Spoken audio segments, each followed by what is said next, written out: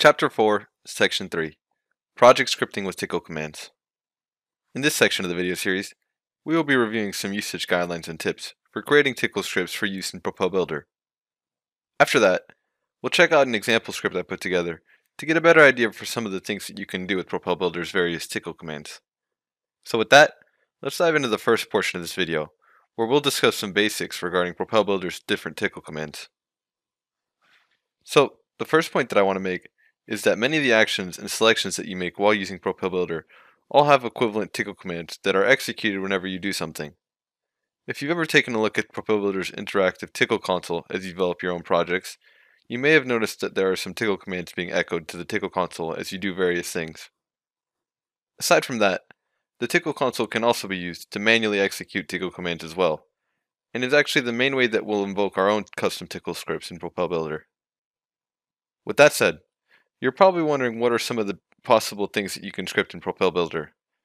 Although it's difficult to name every possible use for Propel Builder's Tcl commands, some of the most important things that you can automate with Tcl commands include generating, opening, deleting, and closing projects, instantiating IP and modifying parameters, creating ports and connecting components, managing address spaces, as well as generating the required files for use in Propel SDK in either Diamond or Radiant.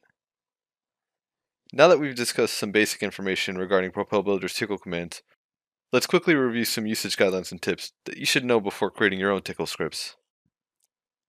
The first tip that you should know when developing your own Tcl scripts is that all of Propel Builder's Tcl commands have additional help information that can be accessed directly from Propel's interactive Tcl console.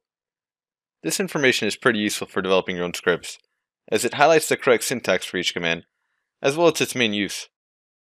With that said, you can access the short, concise version for help information of a command by typing dash "-h after the name of a command, or dash "-help in order to be the longer, more detailed help information for that command. Aside from that, the second tip that you should know is that the order that you list ports in when connecting components using Tcl commands is important.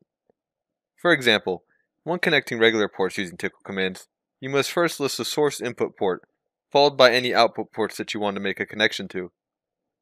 This requirement is the same for connecting interfaces using Tcl commands, as you must first list the source controller interface, followed by any target interfaces that you want to make a connection to. Another useful thing to know about connecting components using Tcl commands is that you can make multiple connections simultaneously using a single Tcl command by listing multiple output or target ports that you want to make a connection to. Next, the third tip that you should know is that instantiating an IP in your design requires a source component. What this means is that although you can modify some parameters for a component, you cannot generate a new component from scratch, and must have an already existing component in order to instantiate it in your project. The fourth tip that you should know to develop your own Tcl scripts is that when you modify component parameters using Tcl commands, your inputs are case, value, and value type sensitive. To help ensure that your Tcl script uses the correct syntax and inputs for your commands, you can use the SBP report properties Tcl command in order to check out and compare the correct syntax for each of the parameters in a component.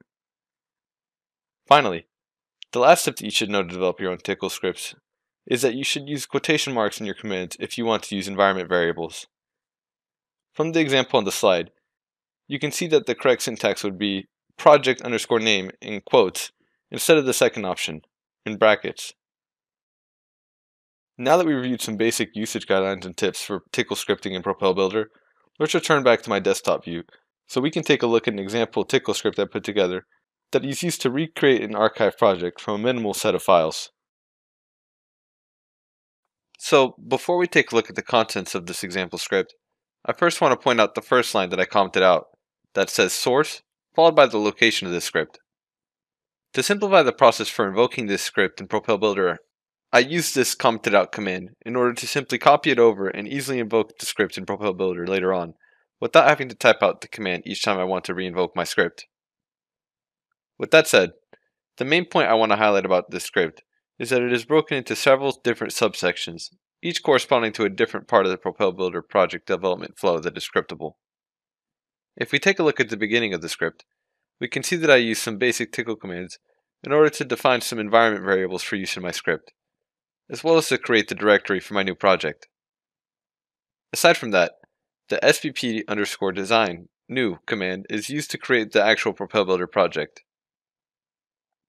Below that are the commands we use to add the components and ports for our design.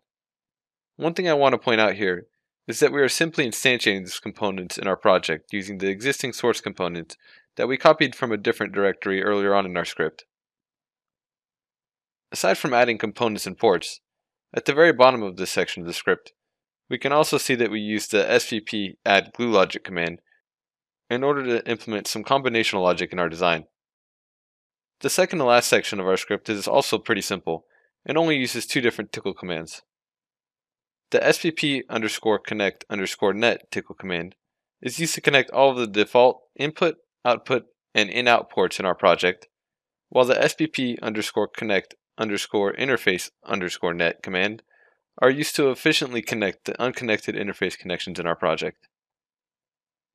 Finally, in the last section of our script, we use a few different Tcl commands to finish the project generation process.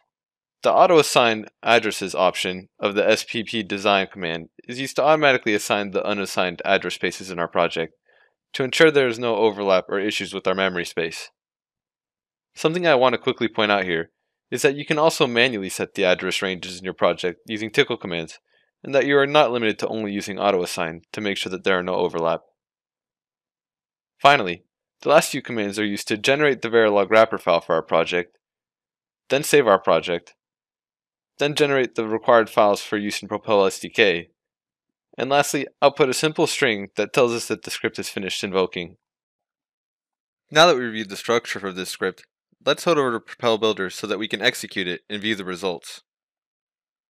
In order to invoke our Tcl script, we first need to type source, followed by the location of our Tcl script, into Propel Builder's Tcl console. As mentioned before, I commented out this command at the top of my script, so I could easily copy paste it here to invoke it without having to retype the entire command by hand. With that said, let's hit enter to invoke our script. Now that our script is finished executing, we can see the project generation has completed message in the Tcl console, confirming that our script has finished executing successfully. Now, if we zoom relay out to fit our entire SOC into schematic view, we can also see that our new project was created successfully using a minimal set of files from a previous project. That concludes the last and final section of the Propel Builder introductory video training series. For more Lattice related videos and training resources, check out our official Lattice Semiconductor YouTube channel or our webpage at www.latticesemi.com.